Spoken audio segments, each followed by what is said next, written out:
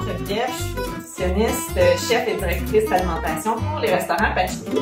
Et je suis accompagnée aujourd'hui de Madame Flavie, mon assistante chef en cuisine. Alors, euh, on va essayer de faire une recette de 5 sauce mato, la catastrophe. Hein, mademoiselle? Déjà, elle a commencé à manger euh, les macaronis que j'ai préparés. Donc, euh, l'objectif, c'est vraiment de vous donner une petite recette super simple pendant que vous êtes confinés à la maison. et je suis allée avec des ingrédients sont généralement dans la plupart des garde-manger, des congélateurs des gens. On veut pas aller à l'épicerie à tous les jours, fait que je me suis dit, bon, on va y aller avec des choses très, très simples. Donc, je vais préparer une petite salade de pâtes. Euh, super euh, rapide, idéal pour les boîtes à lunch si vous êtes des travailleurs essentiels. Vous n'avez pas le choix de vous amener un petit quelque chose de bien nourrissant. Donc, euh, on y va, Flavie, on mélange? Ah, on mélange, on ne mange pas, on mélange. Alors, on va prendre les macaronis. Là, ça peut être n'importe quelle pâte. J'avais des macaronis parce que sincèrement, j'ai utilisé mon, mon garde-manger.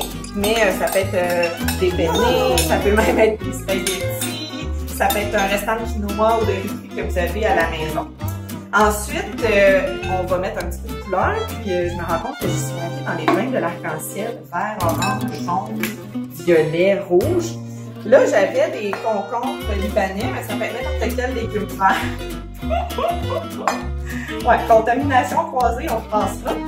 Euh, et j'ai des carottes. C'est sûr qu'il y a des carottes, c'est super sexy comme légumes, mais moi, ce que j'aime bien, c'est prendre un, économe et faire des rubans avec ma carotte comme ça ici. Fait que c'est ça, c'est plus intéressant que mettre des gros cubes de carottes. Puis en plus, c'est un légume euh, qu'on trouve partout. C'est un légume euh, du Québec qu'on voit à l'année dans les épiceries. Donc, ça très. Fait que là, David, on va, tu vas. Tu vas mettre les carottes et le concombre dans la salade. On y va? Vas-y, prends la cuillère. Vas-y. Et ça. Ouais!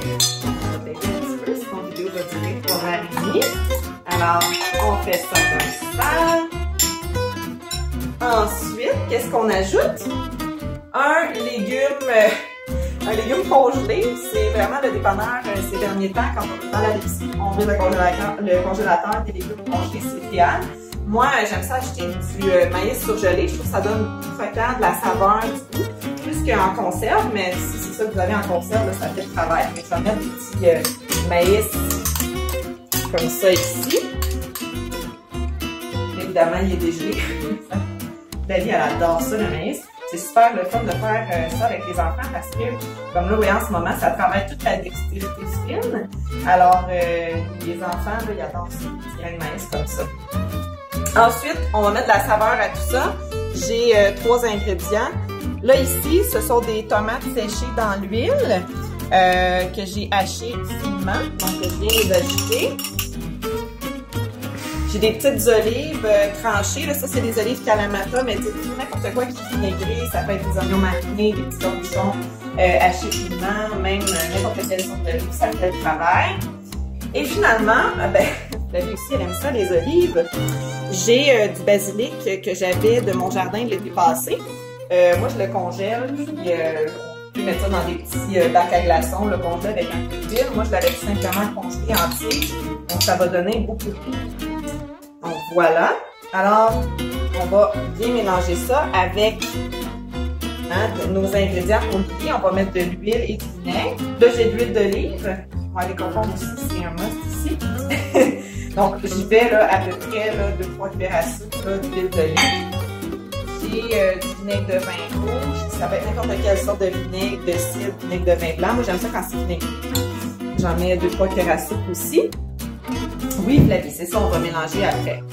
Euh, sel, poivre, on garde le très simple, un petit peu de sel, j'aime ça ça donne un peu croquant.